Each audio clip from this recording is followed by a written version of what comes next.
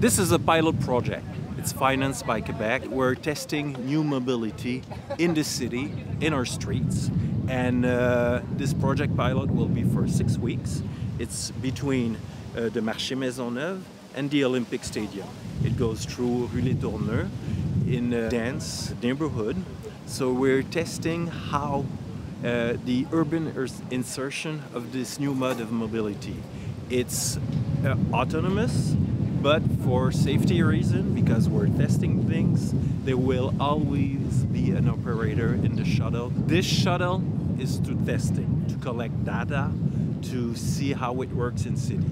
In the future, autonomous uh, vehicles, the way we see it in Montreal is to be a complement of our transit offer. Not to replace it, to be a complement. But here, let's be frank, this year it's uh, it's a project pilot and it will be accessible for people of the neighborhood who want to go from the Marché Maisonneuve to the stadium, but it will be a bit slow because we're testing things in the right way. It will be very safe and quite slow. I invite you to test it. I invite every Montrealers to test it. Go slow. There's an operator in it and it has all the security features and it stops. If you wave your hand in front of it, it will stop.